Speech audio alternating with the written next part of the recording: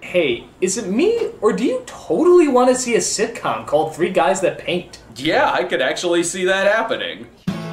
Coming this fall to CBS.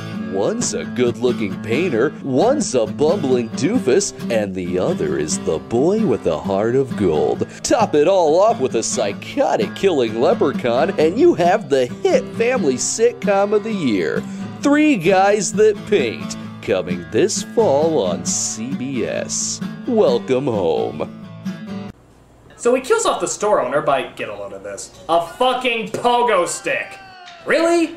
That's the leprechaun's weapon of choice? Hey, don't laugh. My father went the same way.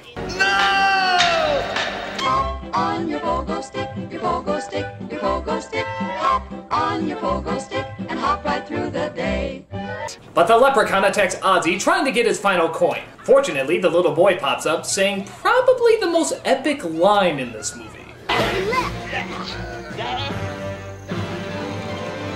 Fuck you, Lucky Charms.